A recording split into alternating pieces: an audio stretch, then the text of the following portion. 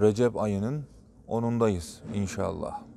Allah'ın ayında, Allah'ın evindeyiz, Allah'ın zikrindeyiz inşallah.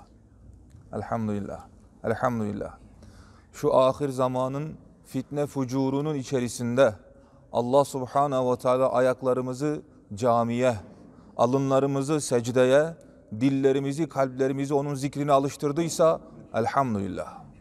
Elhamdülillah. Allahu Teala'ya binlerce hamdü sena olsun. Celle Celaluhu.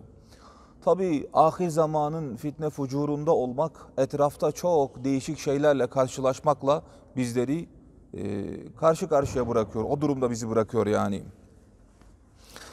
Bakıyoruz fakat bakıyoruz çoğu hoşumuza gitmeyen şeylerle karşılaştığımız zaman hani ataların dediği gibi her şeyde vardır bir hayır. O hayrı görebilecek göze sahip olmak da önemli bir şey. Mevlana Celaleddin Rumi Hazretlerinin makamındayız elhamdülillah. Onun makamında, onun mevkisinde, onun şehrinde onun gibi bakabilen gözlere sahip olmak lazım. Onun gibi idrak edebilen kalplere sahip olmak lazım.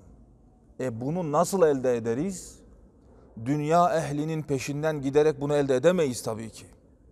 Allah ehlinin peşinden giderek bunu elde edebiliriz. Mevlana Celaleddin Rumu gibi vazife yapan zatların ışığı altında olursak bunu elde ederiz.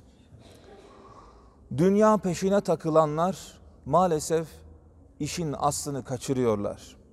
Evet herkese sorsanız Mevlana Hazretlerini çok seviyor. Ama onu kabri şerifini bir müze gibi ziyaret edip dönüyorlar. Bu mu Mevlana'yı sevmek? Mevlana Hazretlerini sevmek böyle mi oluyor? Mevlana Hazretlerinin çizmiş olduğu, gitmiş olduğu bir yol var. O yolu takip etmedikten sonra onu sevmiş olamazsın ki. Resul-i Ekrem sallallahu aleyhi ve sellem size ne bıraktım diye buyurdu? Allah'ın kitabını ve sünnetimi bıraktım diye buyurdu.